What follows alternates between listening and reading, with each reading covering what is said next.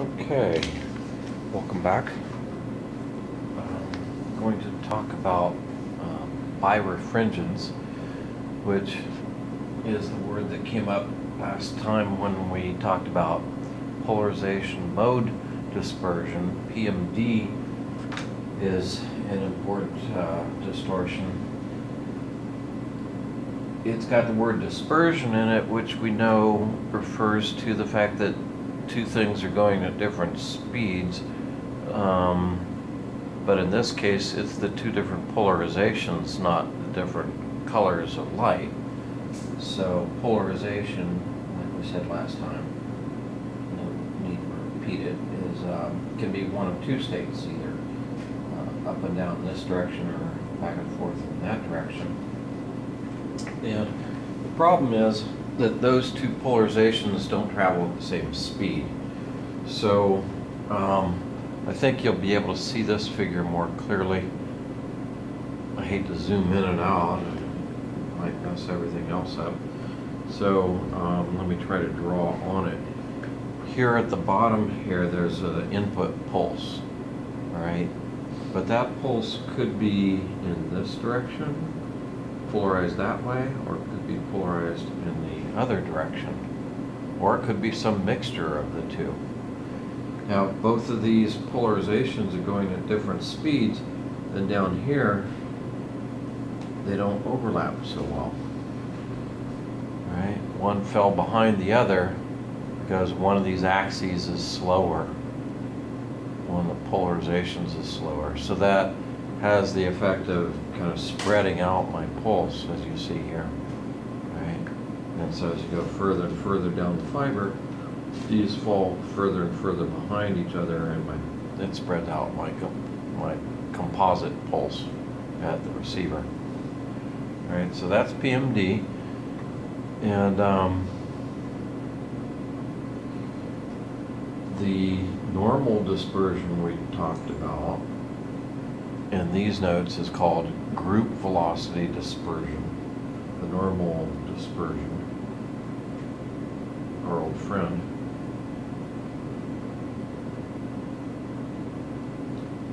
So is managed. Once that's been taken care of, PMD is the limiting factor. Right? It becomes the dominant distortion. Single mode fiber will support both polarizations can propagate in that. And then um, this word by anisotropy, nice word, huh?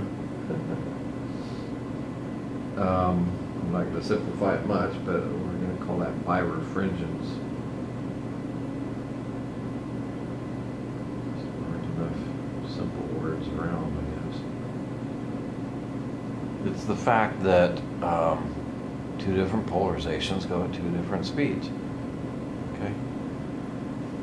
This, in this fancy write-up, it could be produced by the core being elliptical rather than circular or um, you put some kind of stress on the fiber that makes the crystal axes, uh, one has a different speed than the other. Okay. Um, I don't need more abbreviations. I never saw anybody talk about that.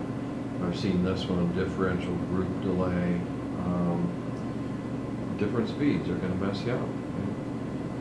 Uh, it's broadening it. We said that another way of saying that one pulse can fall on top of the other is um, often called intersymbol interference. I do see that abbreviation a lot, ISI.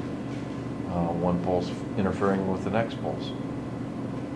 Um, current state-of-the-art systems do not utilize uh, polarizations as different channels.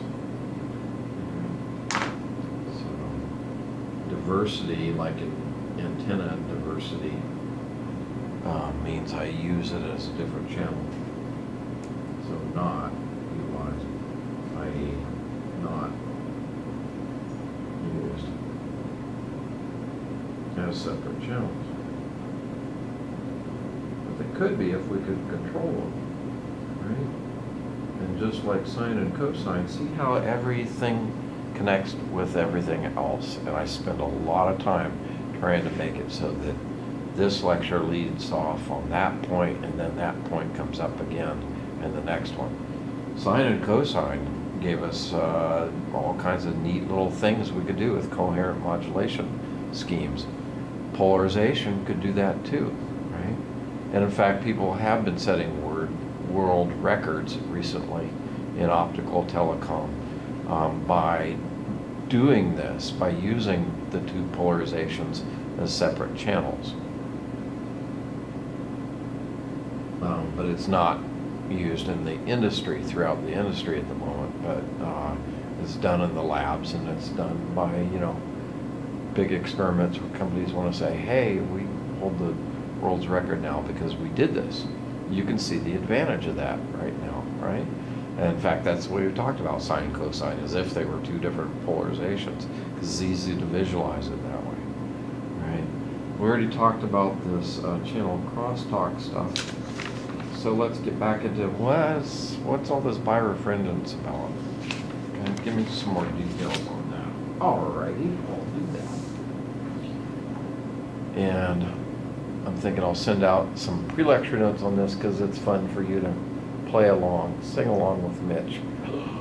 no, I'm not really that old, am I? Uh, only my hair. what was that? I don't know. Um, I saw a lot of reruns, let's put it that way. Um, birefringent material. I also try to color code things so that you know what's a it, it, and what's kind of a little side comment. Um, EG is for example, in case you ever have to deal with these things, um, lithium niobate is a very useful material that has is really good at doing these things. So almost all these devices are made in lithium niobate. So there's its chemical thingy, and here's its uh, English thingy, niobate. Very popular. Maybe you've heard of other crystals like KDP and ADP. Um, this guy works a lot better. Um, so, we have these two different polarizations. Maybe a field along the x direction, maybe an electric field along the y direction. And we're propagating. Wiggle for propagation. K vector tells us which way direction we're propagating. That would be along the z-axis.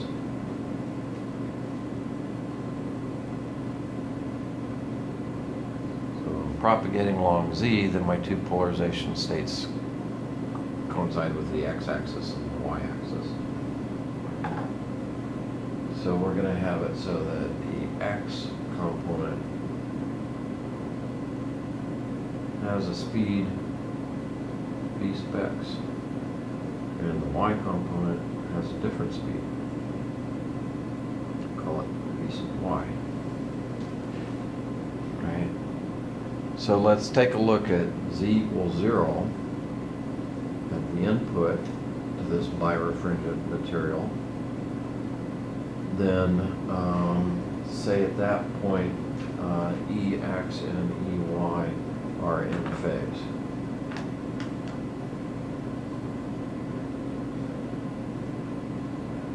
In phase means when one's up, the other's up too. If one's cosine, the other's cosine. If one's sine, the other's sine. So for example, um, these is both being cosine. Oops, cosine. Easier, easier to draw it. Right. This one and this one, there's no phase shift between them. In phase. That's what that means. Right. So, when um, the field along the x direction goes up, the field along the y direction is also up.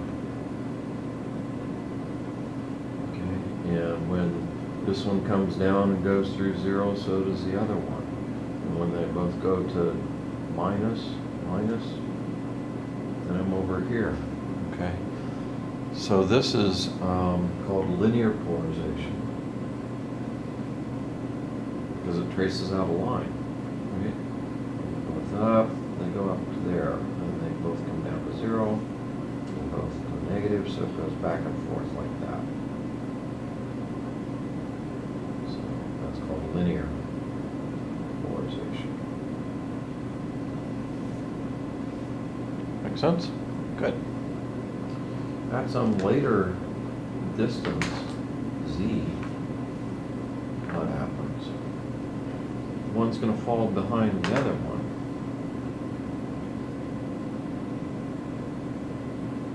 So as we propagate down through this crystal, started out with linear polarization, now it's gonna change. Right? It's gonna change to where one's behind the other. Um, let's say, this is not real crucial, but let's say, um, the y-axis is the slow axis. So it's v sub x is a smaller velocity. Anyway, they're gonna fall out, one's gonna, they're no longer gonna be in phase. And at some point, it's gonna give me what's called circular polarization, and it looks like this. Here, I'm gonna have the x part could look like cosine, and the y part could look like sine, so let me draw those functions. Um, Cosine, zero, something like that.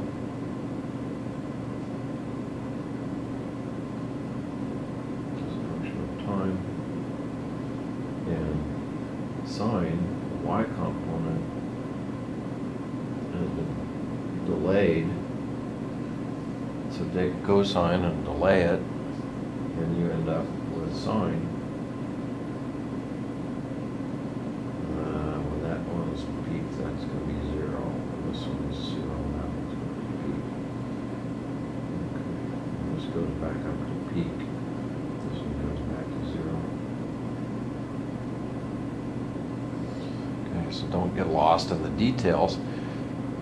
Important part is they started out, they were both in phase, but one falls behind the other, right? So at some thickness, this is going to make it so that this one's 90 degrees behind the other one in phase, or in time, if you want to call it that. All right, so what is the polarization, what's the field vector trace out now, at this point? At this particular z. Then, um, when one is, let's see, at t equals zero, I'm cosine. Cosine is peak. Right, and I'm pointing along x. And the y component, I don't have any. Sine of zero zero. So at t equals zero, I'm here. Later, at this time, sine is peak, so the y component will be peak. And at that point in time, cosine is zero. So I don't have any x-axis then. So it's going to trace out a circle.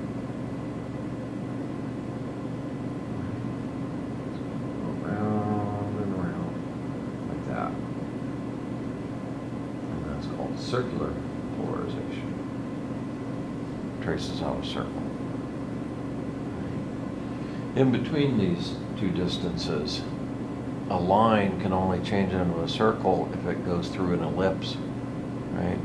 So what happens in the in-between cases, in case you want to know, is this line morphs into an ellipse along this direction until that ellipse has both y and x components the same size, turns it into a circle. Um, let's call this uh, phase between the two delta phi. So the phase shift, Or phi sub delta. in other words, at some phase shift between the two is how much? Ninety degrees.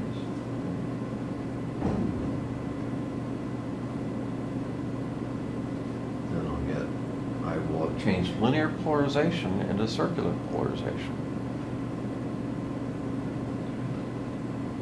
Another word for 90 degrees is pi over 2. And if I look at the thickness, that would require, if that was, z equals zero is where I started, then it's not, too difficult to figure out that, oh, this is um, 90 degrees, what's that in terms of a wavelength? That's a quarter of a wavelength. hence, if I build a device that does this, it's called a quarter wave plate.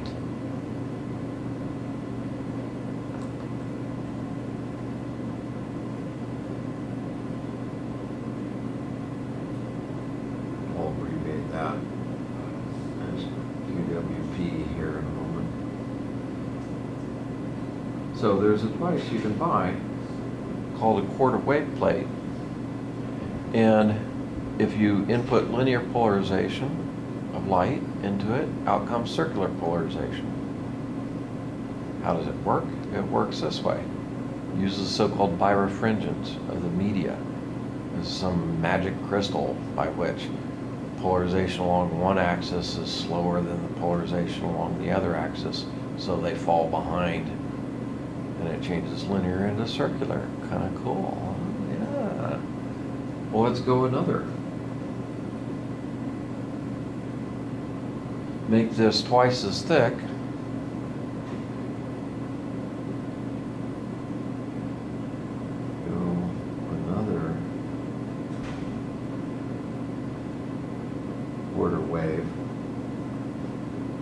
Distance.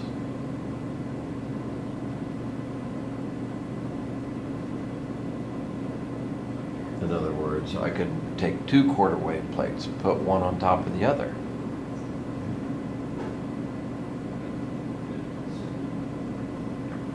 I'm going to abbreviate quarter wave plate. Some people call that a half wave plate because a quarter wave plus a quarter wave gets me a half a wave. Lambda over two would be the thickness. So I could make this one crystal, or I could make one quarter wave plate as one crystal, one device, and then just add another one on top of it. Okay? What happens now? Well, I'm going to have a phase shift between these two is now 90 degrees.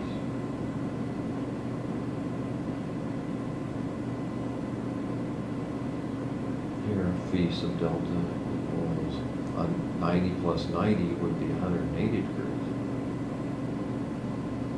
So now they're out of phase this way. One of these on whatever time,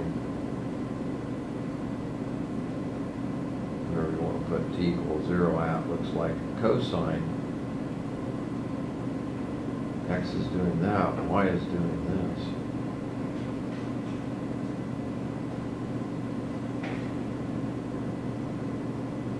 Hundred and eighty degree phase shift. Makes it opposite. The zero crossings are still the same. But when one of these is up, the other one's down. Oops. Okay, so I'll draw that again. there's a sine wave. Put t equals zero wherever you want, but the point is, you relative phase shift between the two is 180 degrees. So when one of these is plus, the other one is minus. So when this one's up, this one's down, when this one's down, this one's up. What's that gonna trace out here?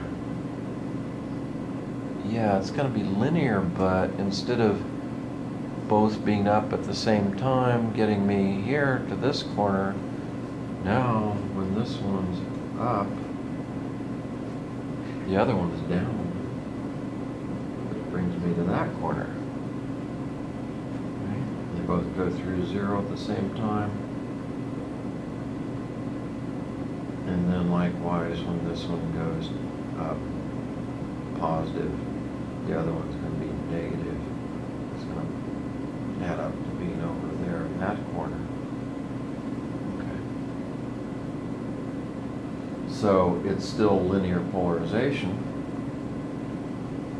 But it's perpendicular to the linear polarization that we started with, right? So there are two polarizations I can have. You can call it polarized this way, right and left, then this one's polarized up and down. They are orthogonal. They're perpendicular.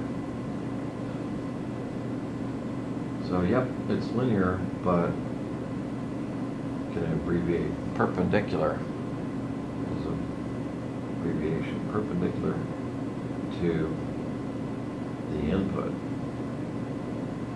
Pretty cool, huh? I thought long and hard about, Well, should I spend more time on nonlinearities or get into quantum communications or so many interesting topics in optical communications, and I thought, you know, I, this this is this is pretty slick, and uh, it has a bigger impact on the industry at the moment than uh, some of those other things. which I'll still talk about.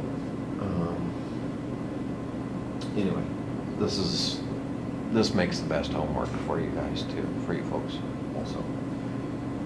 Um, so, I could go, I can change with one quarter wave plate, I could change linear polarized in that direction to circular polarized.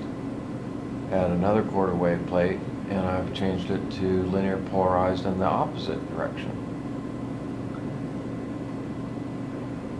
now there's this business of handed, Which I'm gonna do in green because it's not as important. but um, x cross y gives me z. I'm to say aside, but I won't. This is why you gotta watch it as a movie. Started out nice and simple, didn't it? Uh, layer after layer, you gotta watch the video. Okay. x cross y equals z. This one is actually, would be, um, Put your thumb along the direction of propagation. Use your right hand. Do these match up? Yeah, my fingers are pointing in the direction of how this thing is moving around a circle. This one, therefore, would be called right-handed circular polarization. Go through another quarter wave plate. Right? Where do you get to? You guessed it, Linear has to change back to circular. right?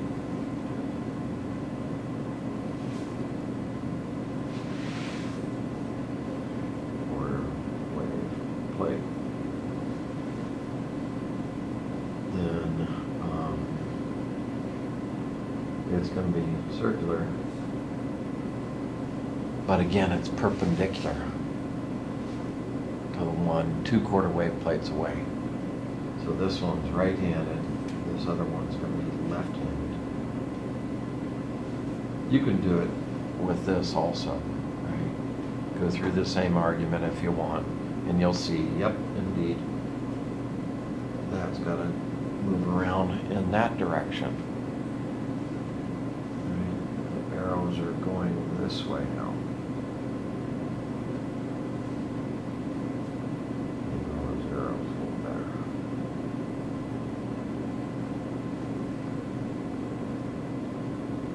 Okay, Put your thumb along the z-axis, which is where we were propagating.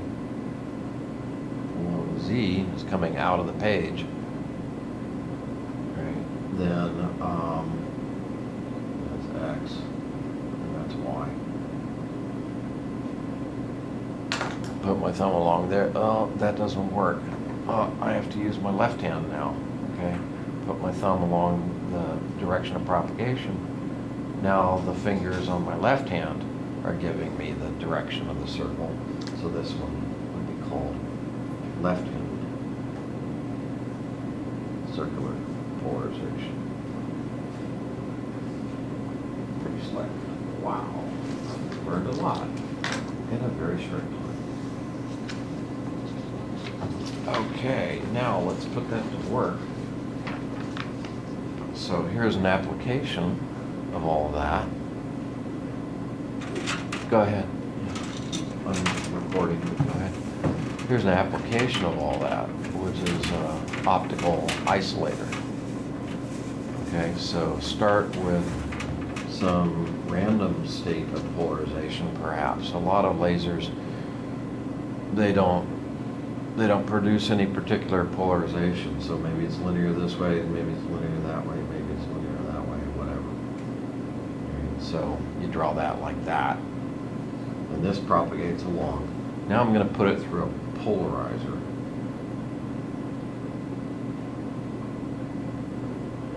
Okay, so it, makes it a definite polarization now.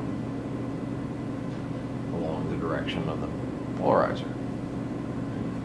Propagating along here, Let's put it through a quarter wave plate. linear, turns into circular. And depending on the, um,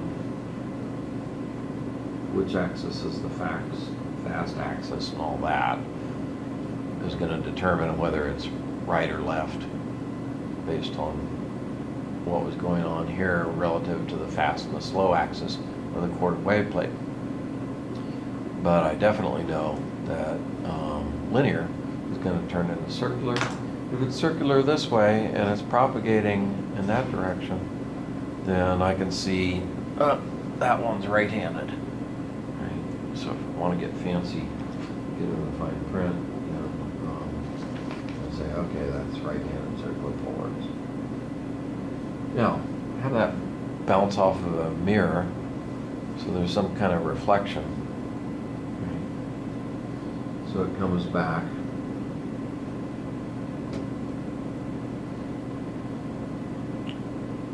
You know, I just changed the direction of the K vector. So if that one was right-handed, this one's left-handed. fine print. Um, go through another quarter wave plate. What am I gonna get out here?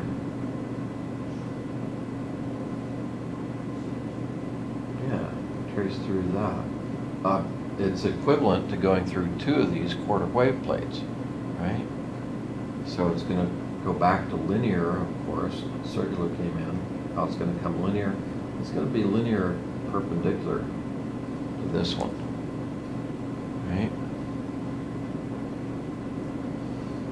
I still have my polarizer here. So does any of it get through? Nope. All right. Polarizer is gonna block that.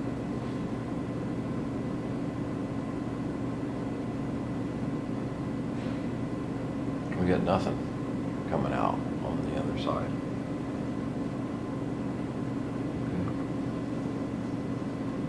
So that's called an isolator.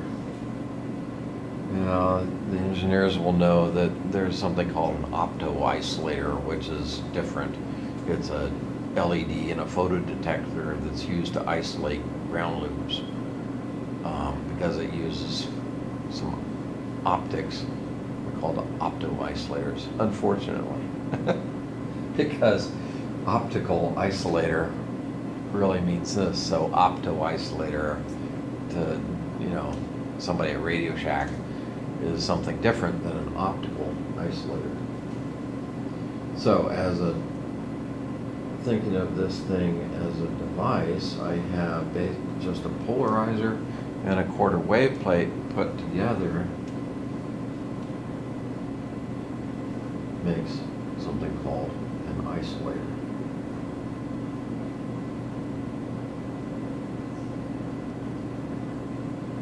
And these always have an arrow on them, on the actual device and also in a, in a schematic.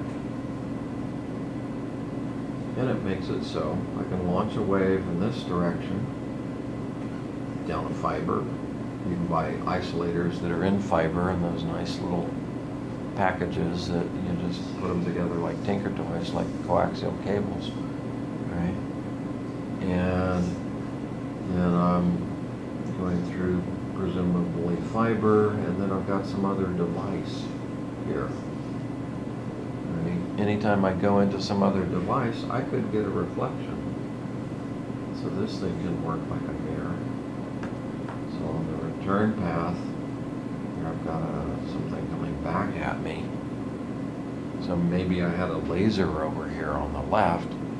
I'm trying to go into some more fiber optical equipment, but I'm gonna get a reflection. If that reflection comes back into my laser, it could damage my laser. Right? But many reasons why I don't want that guy coming back here. So without the isolator, I've got something coming back at me and I'm in trouble. With the isolator, it gets blocked. Right? And it's nothing more than a polarizer in front of a quarter wave plate. That builds an isolator. Okay. Cool. Now, to make it even cooler, let's um, zoom in on Agrawal's text. And he's got a picture of a real EDFA. Erbium doped fiber amplifiers, section seven point two.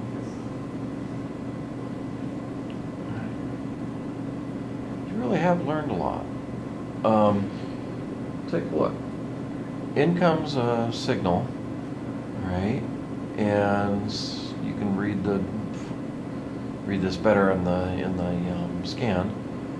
But here's an opto isolator. It's the first thing it goes through, and then it's going through. This is an EDFA. This is a fiber amplifier. And this, my friends, yep, it all connects back to everything you learned. This is my preamp. Right? So I go through my lowest noise figure amplifier first, if they have roughly the same gain. LD stands for laser diode. This is a, it says 0.98 microns. This is 980 nanometers. This is my pump.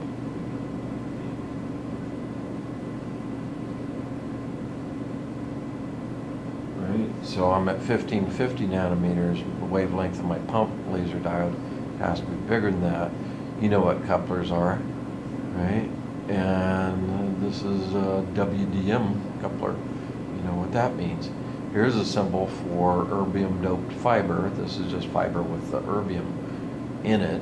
So that's um, the where I get my amplification, right? But that's one stage. Then I go through another opto optical isolator that keeps any waves in here in the next stage from bouncing back and messing me up. We'll talk about some of this amplified spontaneous emission noise more. I mentioned it like the first day a little bit, but um, we'll we'll keep talking even after you know the homework and the exams are done. We'll, do a there, there's more lecture time. So um, here's my next stage. It's a power amplifier. Right. This one is where I really want to boost it up, have more gain, put my lower noise figure one in front. Now look how these are arranged.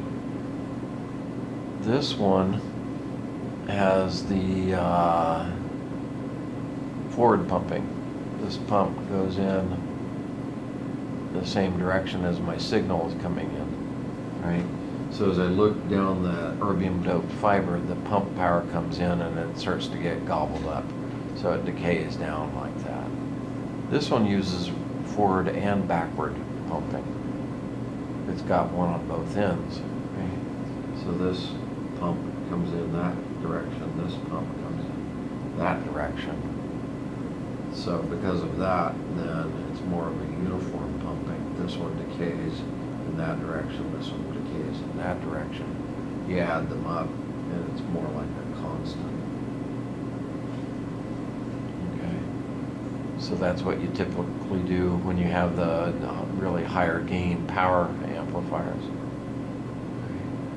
But you certainly don't want, and, um, Apparently 980 nanometer pump is lower noise figure.